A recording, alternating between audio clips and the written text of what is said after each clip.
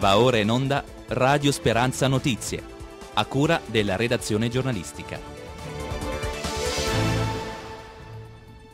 Buona giornata a tutti voi da Massimiliano Spiriticchio in studio da tutti noi di Radio Speranza in Blu, la radio della Chiesa diocesana di Pescara Penne. Oggi è martedì 30 maggio, la Chiesa celebra la memoria di Santa Giovanna d'Arco, Vergine. Ancora problemi legati ai tentativi da parte di hacker di attaccare il sistema informatico della giunta regionale abruzzese. I dipendenti della regione Abruzzo si sono visti recapitare messaggi di posta elettronica provenienti dall'indirizzo amministrazione di sistema in una nota interna dal titolo Mail malevole inviata ai circa 1500 dipendenti, i sistemi informatici regionali informano che sono arrivate e stanno arrivando mail strane con l'intento di rubare le credenziali di accesso ai sistemi. I dirigenti regionali e i tecnici informatici invitano a cestinare le mail senza cliccare su alcun link in esse contenuto e raccomandano, nel caso in cui abbiate erroneamente cliccato sul link, siete pregati di informare immediatamente l'assistenza informatica. Questa è la raccomandazione per i dipendenti della regione Abruzzo. Da mesi i pirati hanno puntato gli enti pubblici regionali. I tentativi sono stati finora respinti con la conseguenza eh, comunque di problematiche, eccezion fatta per la ASL provinciale dell'Aquila, il cui sistema è stato messo fuori uso da un attacco sferrato il 3 maggio scorso che ha paralizzato servizi e prestazioni e che vede vertici dirigenziali e tecnici riuniti in una task force in prima linea nell'affannosa ma ancora improduttiva ricerca di un ritorno alla normalità. Le autorità italiane hanno assegnato il porto di Ortona alla CI4 eh, che ieri ha eh, soccorso 17 persone, tra cui 9 minori non accompagnati, nel tratto di mare tra la Libia orientale e la Tunisia. La distanza del porto sicuro assegnato, lamenta la ONG, è tre volte quella del porto più vicino, ovvero sia il porto di Pozzallo. La CI avrà probabilmente bisogno di 4 giorni e mezzo per fare 1300 chilometri. Attraverso un tavolo tecnico che nelle prossime settimane dovrà definire velocemente alcuni ultimi dettagli, tra non più tardi di un mese andremo alla ripartizione della nuova programmazione 21-27. Si tratta di nuovi importanti investimenti per la Regione Abruzzo e siamo soddisfatti sia per il percorso intrapreso sia per il riconoscimento ottenuto da parte del Ministero e dell'intero Governo nazionale sul buon lavoro che la nostra Regione sta facendo. Lo ha dichiarato il presidente della Regione Abruzzo, Marsilio, al termine dell'incontro bilaterale con il ministro per gli affari europei, il Sud, le politiche di coesione e il PNRR e la Regione Abruzzo, avvenuto ieri pomeriggio a Roma. Marsilio ha spiegato che si è trattato di un incontro prof- positivo per coordinare istituzionalmente le regioni con la presidenza del Consiglio dei Ministri per la programmazione e l'impiego dei fondi nazionali ed europei, compreso il PNRR. PNRR. Per questo, ha detto Marsiglio, il ministro Fitto ha voluto fare anche una ricognizione sui fondi europei dello scorso ciclo di programmazione che finiva nel 2020 e che stiamo terminando, sul quale il Ministero ha riconosciuto in passi in avanti e l'ottima prestazione della spesa della Regione Abruzzo. Luciano Di Lorito, ex sindaco di Spoltore, è stato nominato eh, ieri direttore della CNA provinciale di Pescara. Al nostro microfono le sue prime parole dopo la nomina. Con che spirito accoglie questa nuova, questa nuova nomina? E con la responsabilità che impone un ruolo così importante che è appunto la gestione di un'associazione che è sviluppata su quattro sedi nella provincia di, di Pescara, eh, che ha nel suo organico oltre 50 dipendenti e che associa oltre 2000 imprese nella provincia di Pescara. In podcast sulla nostra pagina eh, YouTube Radio Speranza Pescara e Facebook Radio Speranza potete trovare l'intera intervista con eh, Luciano Di Lorito nella quale parliamo eh, anche della nuova eh, Pescara e del manifesto programmatico che CNA, Confesercenti e Confartigianato stanno mettendo a punto su questo tema, intervista che andrà in onda a Servizio Interviste oggi alle 18.13.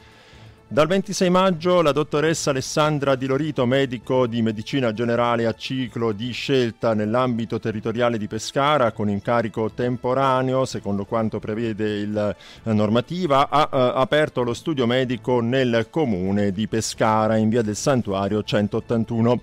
Tutte le informazioni sui medici di medicina generale della ASL di Pescara sono riportate alla pagina del sito della ASL eh, dove c'è la lista medici. E veniamo ai premi Flaiano e a quello per Franco Cordelli, la cui fisionomia, ricordano gli organizzatori del Flaiano, è quella che, con parola non troppo più eh, in, in, voga, si sarebbe detta in altri momenti di intellettuale, saggista, letterario, critico teatrale per il Corriere della Sera, polemista. Cordelli è però soprattutto uno scrittore dalle caratteristiche originali e severe e ostinatamente mai alla moda, che nel corso del tempo lo hanno reso un maestro di pensiero letterario. I suoi romanzi, la, sua, la cui pubblicazione si inaugura negli anni 70, sono diventati titoli proverbiali, da uh, Procida a Guerre lontane, da un inchino a terra alla marea umana a una sostanza sottile. I pezzi raccolti in Tao 48, collana a cura della nave di Teseo, coprono 40 anni di scrittura e perciò, come i paradigmi dei verbi antichi, sono voci esemplari che servono a ricavare, e scrivono ancora gli organizzatori del Flaiano, tutte le altre voci necessarie allo scrivere, a leggere, al vivere e all'interpretare. Ogni prosa parte dal nome di un luogo di Roma, pronto a farsi evocazione o simbolo, ma l'ultima si intitola Marte. Sono Franco Cordelli, dice un personaggio incontrandone un altro e aggiunge: So che lei è lo scrittore Ennio Flaiano. Così in Tao 48 appare anche colui al quale il premio è intitolato. Flaiano è stato per Cordelli un riferimento, dunque oltre al resto il premio gli viene conferito anche per le competenze flaianee e per la passione eh, per Flaiano, eh, conclude Raffaella Manica, Mon, eh, Manica, componente della giuria tecnica del premio internazionale Flaiano di narrativa, una giuria che è, che è composta da Renato Minore, presidente, Donatella Di Pietrantonio, Raffaello Palumbo eh, Mosca, Maria Rosaria Morgia, Fabio Bacà, Elena Ledda e Giulia Alberico. Con i piedi fortemente poggiati sulle nuvole si chiude la, stazione, la stagione teatrale aquilana del Teatro Stabile eh, d'Abruzzo mercoledì 31 maggio. Ridotto del Teatro Comunale alle 17.30 in, alle 21 va in scena Non svegliate lo spettatore per la regia di Davide Cavuti con Lino Guanciale, una produzione proprio del Teatro Stabile d'Abruzzo in collaborazione con Stefano Francioni Produzioni.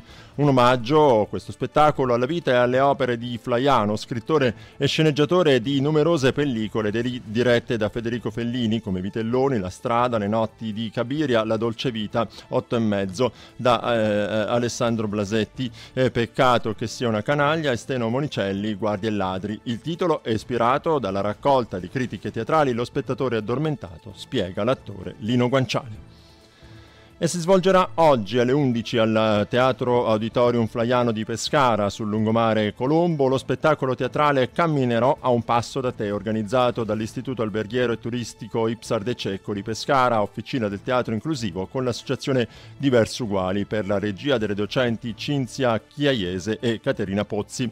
Lo spettacolo di recitazione, danza e musica spiegato da dirigente dell'Istituto Alberghiero de Cecco Alessandra Di Pietro nasce all'interno del progetto di inclusione dei nostri studenti studenti che hanno una diversa abilità o uh, una difficoltà e vuole essere un momento di condivisione e incontro con il territorio, le istituzioni, le famiglie per presentare i frutti del lavoro condotto ogni giorno sui banchi della nostra scuola. L'intento è quello di favorire un rapporto di continuo scambio e soprattutto di piena integrazione dei nostri ragazzi che attraverso il nostro istituto hanno modo di crescere e di apprendere in un ambiente protetto ma comunque aperto al mercato del lavoro che deve prepararsi ad accoglierli creando le basi per consentire loro una perfetta autonomia. E siamo alle previsioni del tempo. Sull'Abruzzo si prevedono condizioni iniziali di cielo poco nuvoloso, parzialmente nuvoloso, con annuvolamenti al mattino nel Teramano, eh, con possibili rovesci in attenuazione in mattinata, sull'Alto Sangro, nel Chietino e localmente nel Pescarese. Miglioramento nel corso della mattinata con ampie schiarite. Tuttavia dalla tarda mattinata la nuvolosità tornerà ad intensificarsi sulle zone interne e montuose, con rovesci temporali anche di forte intensità che dalle zone interne, Marsica, Aquilano, Valle Peligna e Alto Sangro tenderanno ad estendersi verso le zone pedecolinari del Chietino, localmente del Pescarese, con possibili sconfinamenti verso le aree costiere. Non si escludono forti temporali sull'Alto Sangro e il Chietino, con eh, particolare eh, possibili eh, gradinate, e quindi eh, dalla serata e nel corso della nottata è prevista una graduale attenuazione della nuvolosità e dei fenomeni. Temperature generalmente stazionarie o in diminuzione nelle aree interessate dai temporali, venti generalmente deboli, specie lungo la fascia costiera, mare poco mosso con moto ondoso in temporaneo aumento durante le ore centrali della giornata e nel pomeriggio. Con i dati di abruzzometeo.org noi ci salutiamo. Grazie e a risentirci.